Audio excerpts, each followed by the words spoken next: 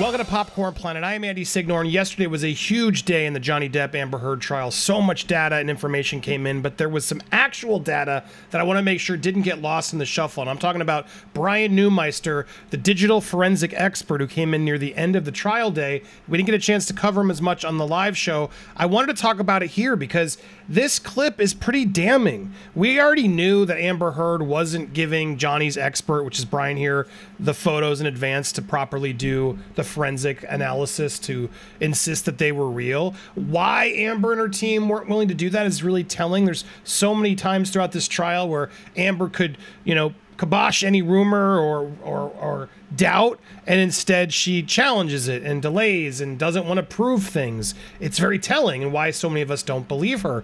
But Johnny attempted, and the judge enforced it, that Amber and the team give the photos to the experts. Uh, a third party could be there. It was, it was all on the up and up they never did. So uh, somehow, as the trial progressed, it seems like there was some agreement that okay, well, these files are coming in, but Johnny's team's allowed to argue the authenticity of these photos.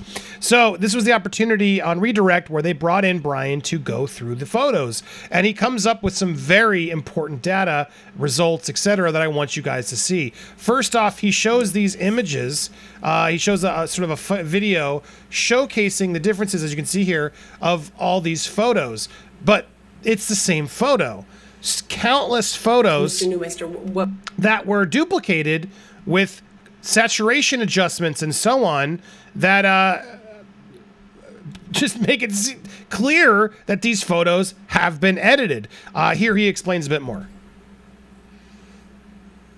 Mr. What was uh, depicted in that video? The same photo treated uh, two different ways. One was marked with the original or with the operating system from an iPhone, which is iOS 9.3.1 on that particular uh, photo. The one this is 9.3.1. There is a graphic below indicating it. The second photo uh, is marked Photos 3, and it looks quite a bit different.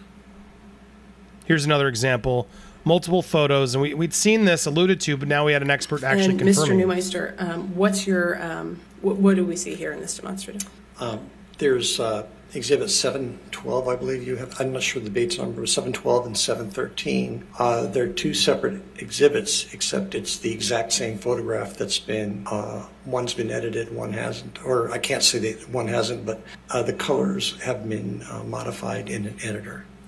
From the opinions you've testified today, you relied on no data except for the embedded EXIF metadata to support those opinions, correct? Incorrect. What other data did you rely on for the opinions you've testified to today? I was trying to explain yep. you kept What other data did you rely on for the actual opinions you've been able to testify to today? Now, this is the cross with what I'm calling baby Rottenborn Jr. because it's not Rottenborn. It's not the other guy. It's not uh, Mr. Correct, correct. It's not him. Correct. No, it's a correct, new guy. Correct, this baby Diet Rottenborn Jr., the third tier. I'm calling him Boss Baby, who came out of nowhere and was so aggressive against this in attempting to be a photo expert over the photo expert. Watch how Team Amber in this cross is trying so desperately to, you know, just completely negate everything this expert has brought to the table besides EXIF metadata? The type of extraction that was performed?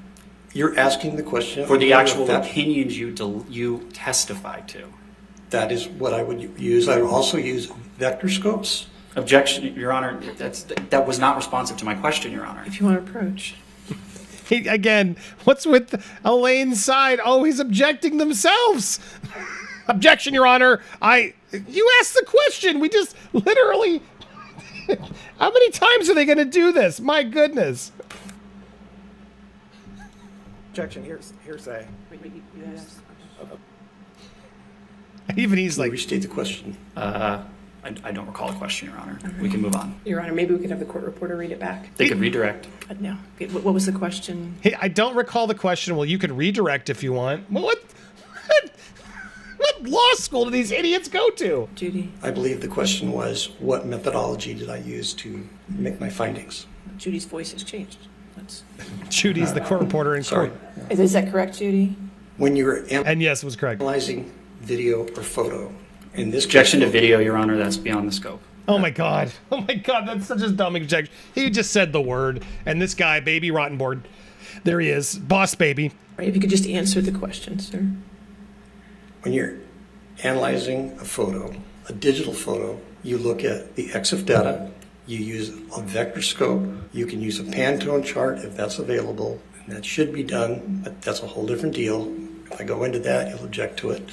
So you'd also use a waveform scope, you would use an RGB parade, you can use a histogram, though in this case it's not really all that relevant. You are not offering any opinions that any photovac- photograph in this case was intentionally modified by Ms. Heard, correct?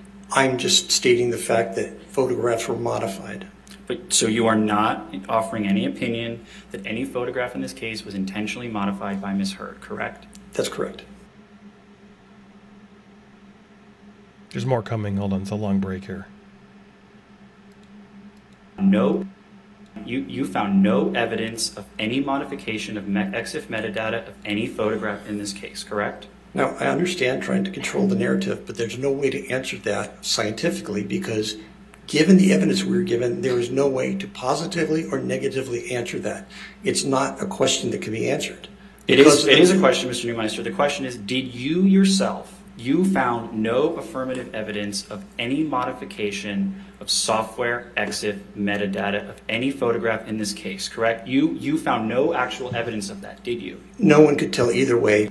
It is your opinion that the metadata of all photographs of purported injuries that Ms. Heard has identified as her trial exhibits do not indicate that the photographs went through a photo editing application, correct? Well, uh, first of all, that's not a yes or no question because a lot of the exhibits that you have put up, they're not photographs. They're screen grabs, and they've been changed from a, uh Apple format, which is JPEG, J, JPEG, to a JPG Microsoft format. So you have actually changed the exemplars. You've changed the data yourselves. The, uh, we actually ran uh, EXIF data on some of your own examples that you've entered into evidence. They are not photos from an iPhone. Those were edited in on a PC. And he asked you about he just opened up this whole door to reveal that the because they weren't letting them look at the photos generally they had to be very specific there were all these rules that they put out but right there as boss baby's trying to do his best to just completely devalue and discredit this expert who clearly knows what he's talking about opens up the whole can of acknowledging oh yeah these weren't even real photos you didn't even give us the real photos you gave us screenshots of photos and if you have a phone you, i'm sure you got those i know there's a lot of data and tech jargon that's happening. You screenshot on your phone. It's not the same as a photo, right? You could. It, it means it's been already adjusted, edited, cropped, maybe in the iPhone app, adjusted with saturation. There's a lot of tricks now in digital photography you can do even from old photos, and then you screenshot it to try to ignore the data that the original had. You get what I'm saying? So, so many sneaky things, and he's acknowledging right then, as we said, they are now caught changing the photos. These aren't the original photos, and they refuse to give them the original photos, which is incredibly troubling. about your opinion that Now we're back to Johnny's side uh, redirect. they don't indicate that they've gone for a photo editing application. What can you tell us about that? Well, first of all, on this last exhibit, it says metadata, not EXIF data. So that's two different things altogether. We're talking EXIF data, and on the report, I put metadata because I was requested to cover meta and EXIF data. So it's taken out of context. The EXIF data is the data based that's embedded in the photo. Metadata can be the file data about the file itself, two different things. So the way the data was collected, it was an iTunes backup is a backup Objection, Your Honor. Backups outside the scope of Your Honor's ruling beyond you. EXIF metadata. I think he opened the door on the. the Overruled question. objection. Overruled because he opened the door, and now we got him to say about the backups and the screenshots. Thank you, Your Honor. Go ahead, Bryan. An iTunes backup is only a backup of things that are on an iPhone that have not been deleted. It does not have the critical operating system. It doesn't have any of the files that would validate the path of a photograph in that phone. It does not have a lot of the log files. It does not have the KnowledgeC database, which talks about usage of the phone and uh, the patterns of how data was handled. All it is is the photos you decided to save, not the photos you deleted. So it's a very limited database. Without the system registry or without the system operating system, there's no way to tell because it's very easy to modify a, a photo on a phone and have it just read iOS 9.3.1. But with the actual phone, if you were able to get a hold of the actual phone. And in 95% of all cases we work, we have the actual phones. It doesn't matter if the, the phones are 10 years old or 20 years old, or I mean, not 20 years old, but 10 years old. The reason is if people have something they want to keep as evidence, they don't throw out their phones. They don't recycle their phones. They save their phones. In a situation like this, there are no forensic extractions. In fact, the extractions we were provided were backups of backups of iTunes, uh, just exports. So it's third generation, and there is no way to verify the file paths and the history of any single photo that we've looked at. That's huge. And so basically, if you don't understand what he's trying to say, is back in the day, especially on iPhones, uh, you'd back up your photos to iTunes, which no longer exists, or there was also iPhoto. Uh, these these programs that Apple had automatically would back up the photos. So what he's saying is, well, these are backups of backups of backups, and when you do that, you start, you know, downgrading all the all the data that has the photo. And so if she had adjusted or or faked images and then put them on her iPhoto and then backed that up, backed that up, backed it up, and then took screenshot of it. Well, there's no data now. Now you've done multiple generations of a copy that now you've lost all the original information to that copy. Which again, why so many copies of that photo? why again in the beginning we saw that too why are they sharing all these multiple versions with different hues and tints almost as if like which one looks worse uh, oh, and let's add this and what's what's real, what's fake. We now know have, have no idea what's reality because right there it looks redder and more damaged than than it does in the Im- images. She's trying her best to create and showcase these, you know, to look worse. And so when this forensic data couldn't get the, the, data from them and they chose to ignore it, huge tell. But here we have on the stand him admitting, and then the defense once again walking straight into it acknowledging the fact that yes, Amber's team absolutely changed, withheld photo evidence that is crucial in this case to know are these are these real? Did this happen? Stuff you'd think you'd want to ensure goes through the proper process so there's no doubt about it.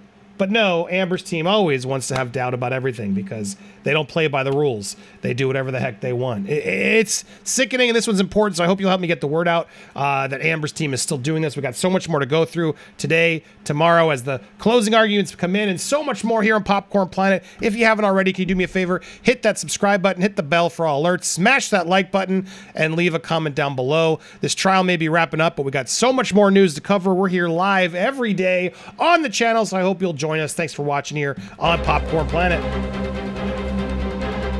Stay tuned. We'll be live after the trial today, whenever it ends. Might end early, so make sure you hit that subscribe.